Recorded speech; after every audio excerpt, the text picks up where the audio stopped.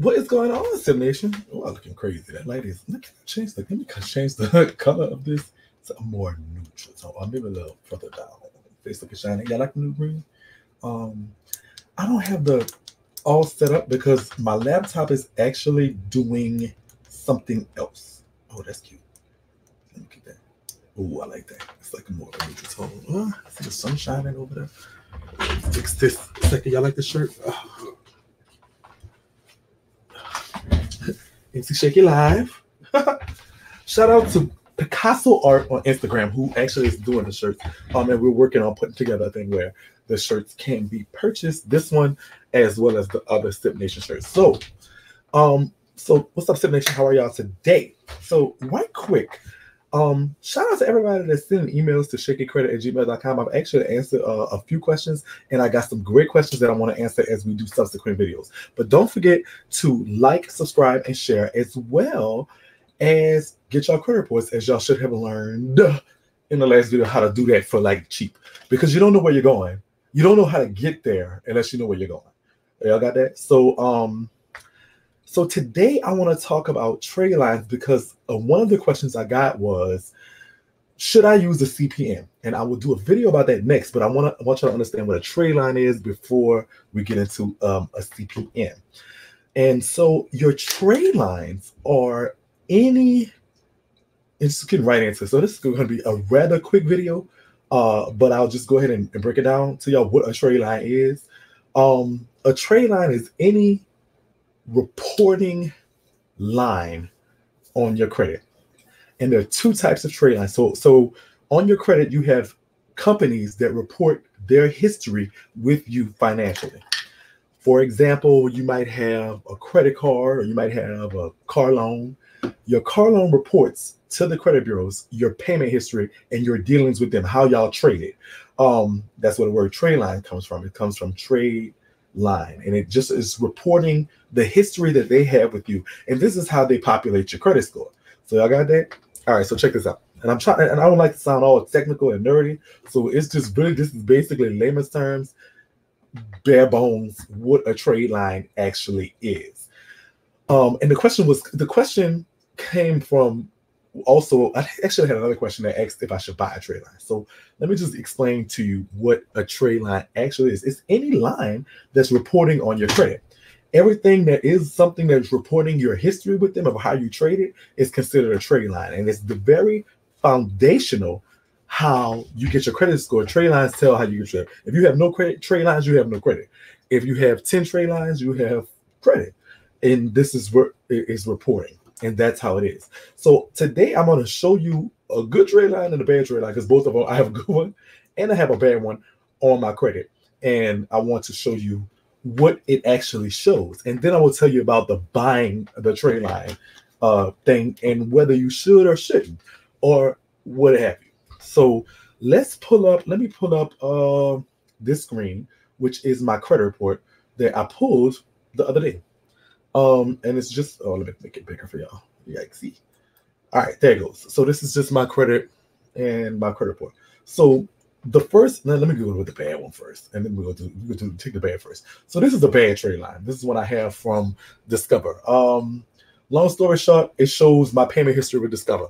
I have a Discover card. I do not have the Discover card because it's showing it's showing closed, and it's reporting as a charge off on my credit. So which is where I wanted it to go, but the reason why because it's easier to fight an account to dispute an account that's in collections than it is account that is actually opened or whatever whatever.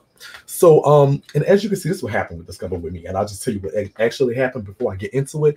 But um so i got a discover card and i start it started out with um like two three four five hundred i don't remember what it was 500 dollar limit or something like that.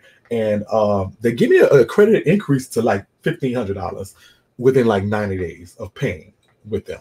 Um, so it shows that it shows like my payment history, boom, boom, boom, boom, boom.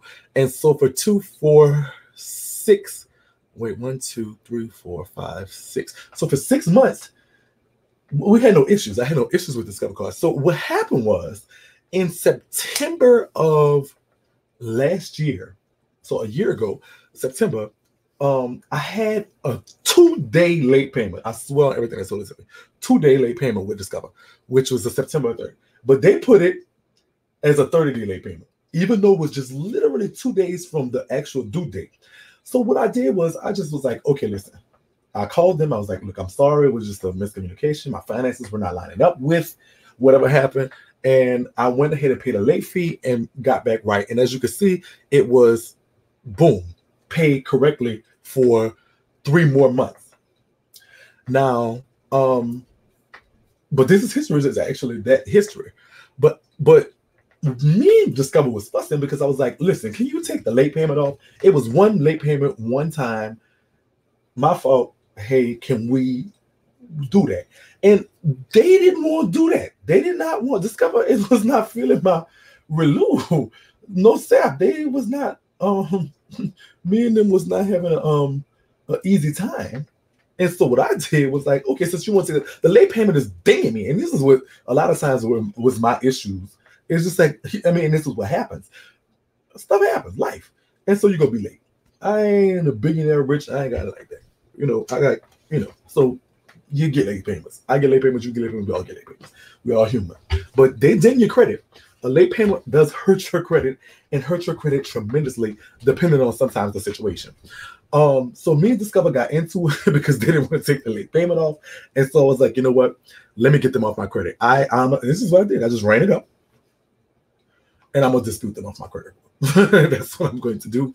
Um, and so it's easier. It's not easy at all to dispute an open active account. So I let it go into collections to charge off status, and so I have better rights to dispute it. Um, as far as the validity of it, and that's basically the process. I'm going to allege that the debt is invalid and they don't have all the correct information, and they're going to probably fight me on it because Discover is crazy. Now, Discover is a hard card to get, so I was proud when I got the card because it said something like, you know, I got a Discover card, you know, and but it was like they are very, very strict when it comes to um their payment process too. So if you get a Discover card, to pay them on time because they are going to and I'm talking about literally like two days, they gone whatever, whatever. So that is the report and the history of, the payment history of that I have with them is what a trade line actually is. And that's a trade line. That's a primary trade line because it's my account that I open with them. Um, and it's a, a primary trade line. All right, so let me show you another trade. Another trade. I'm gonna go back up to a good one because that's bad. So this is a good trade line I have. Um, it's my Chase card. Now, with this saying, it just shows my payment history and it shows all on-time payments. Um, they recently just gave me a credit increase on this card, but let me explain to you why this card is uh, different to me. I actually started out probably with a two thousand dollar limit. Um, I'll make it a little smaller. But what happened was uh, with this card, um, what I did was I put I, I knew I needed, you know, you need good primary trade lines and you need history. So this is what it is. I don't use this card at all. I actually cut this card up so I don't even have it to use.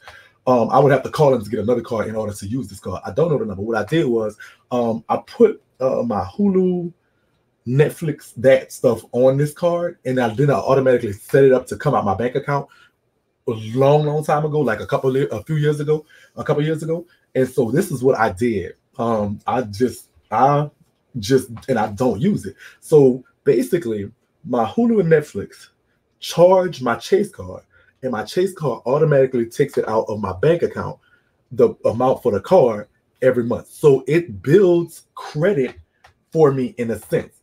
So I and so it started out 2000 and it's constantly just oh they send me a little letter oh we raised your credit limit another thousand we raised your credit another thousand but I don't use the card and so it's just constantly showing good payment history pays as agreed because I don't use the card I cut it up and don't I don't have an excess because I am so bad with spending that if I had it in my profit in my in my hand, anytime something went wrong, I would be swiping the card. As y'all can see, what happened with the, the Discover card. So this is a that's a good trade line. That is a primary account that I have on my credit that is a good trade line that I pay. Um, I do not, like I said, I do not use the card for just foolish. I actually cut the card up, um, which I wish I should have did with the Discover card. But um, I, the Discover card was, I, you know, for me, it was the Discover. Everybody can get a Chase card, but um, the Discover card was a prestige in my wallet. It showed that I was a grand girl. I had a Discover card, And so that's why it was important to me to have that in my hand. And guess what? I was constantly using it. And so this is what happened. So those are examples of what a trade line is. A trade line is any line if you have a car loan, anything, mortgage, or whatever, whatever on your credit, it's a considered a trade line. All right. So the next the next part about that is you see all the time people talk about okay, we, uh, buy trade lines, authorized user trade lines. What is it? Those are what's considered primary trade line because they are my accounts. Now this is what happens. Say for instance, I add you to my Chase card.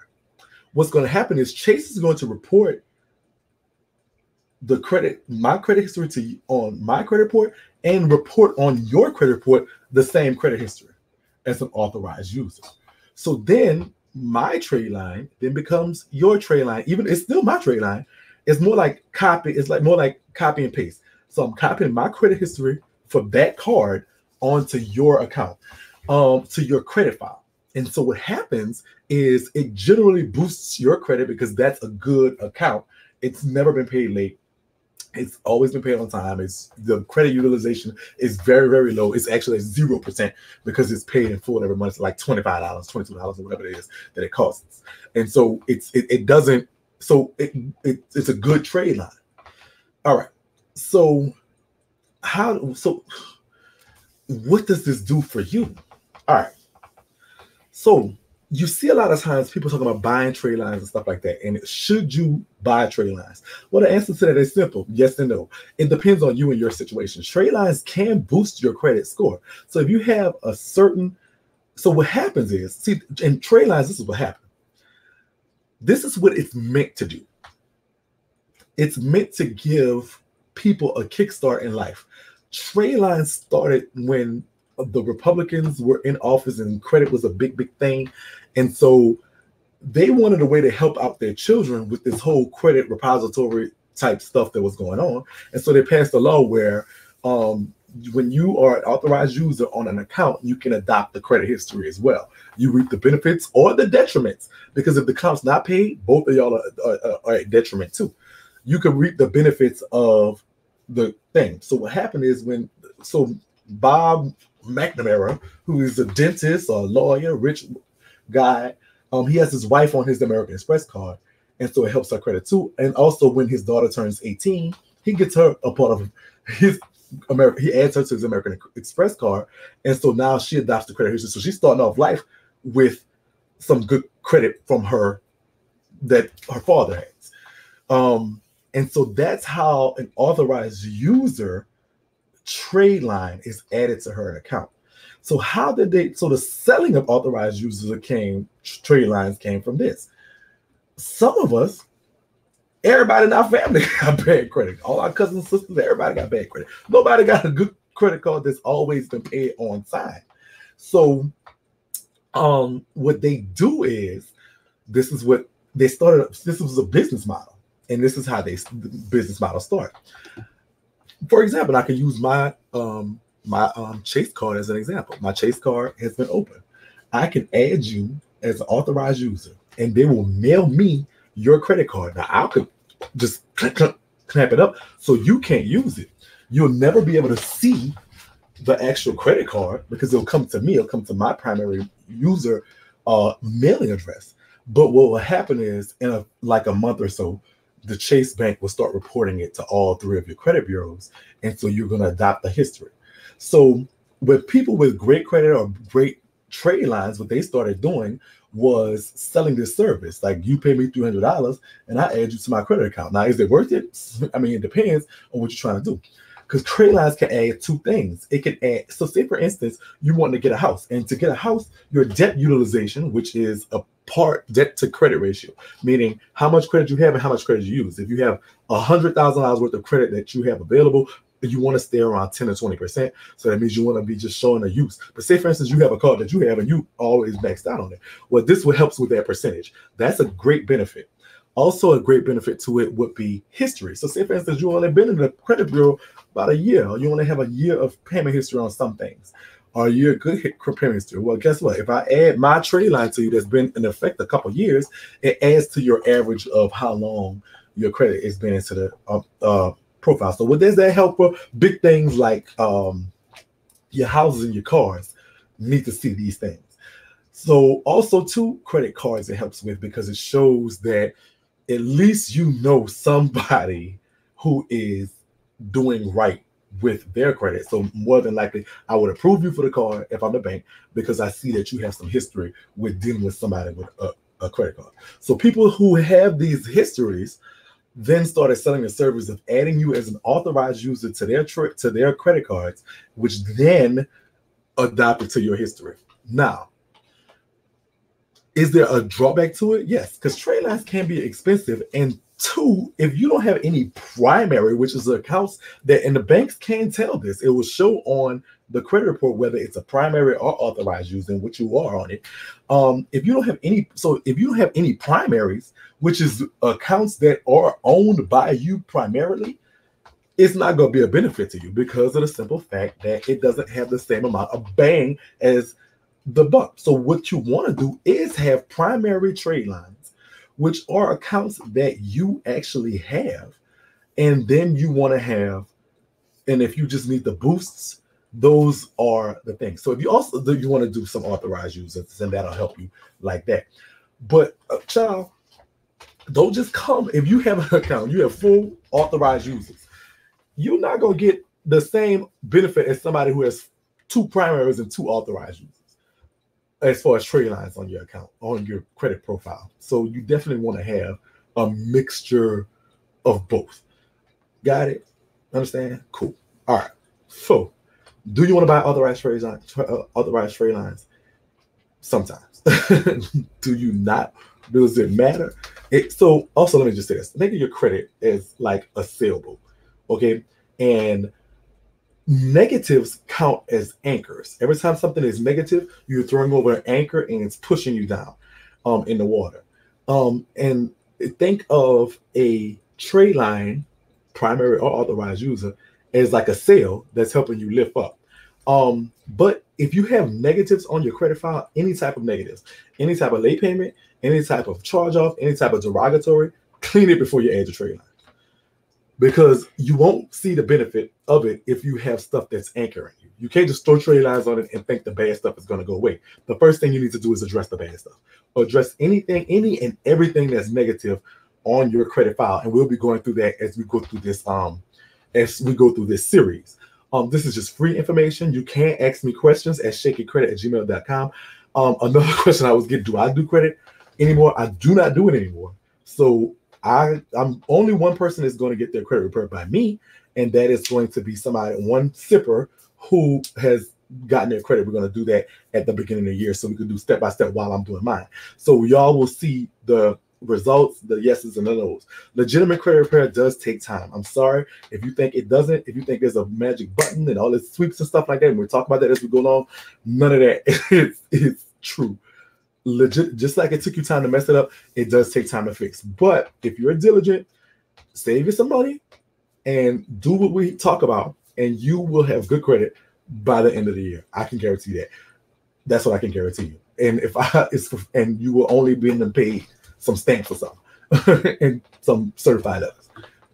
Um, if you have, I do have not keep in mind there are some trade line people that are not um so this is I am horror stories. If you can't see the person, if you can't go talk to the person, if you can't, so if you can't, so this is what now don't just don't just Google trade lines and think all these companies are great and these people selling trade lines for hundred dollars and all this stuff like that. Generally, somebody's gonna charge you like two, three hundred dollars to do this service for them because it's worth it for that. So if you ain't getting three and above, if you see somebody selling trade line for hundred dollars is bull, you're gonna wasting your hundred dollars. Two hundred dollars is bull um, about three hundred dollars is the average for a wholesale trade line, um, and between the three and five hundred dollar range is what you see. Like if you wanted to be on my credit card, I would charge you five hundred dollars. It has no, it has no bad payment history. It's going to add, you know, so whatever, whatever. Not on my bad Discover, but on my good Chase card.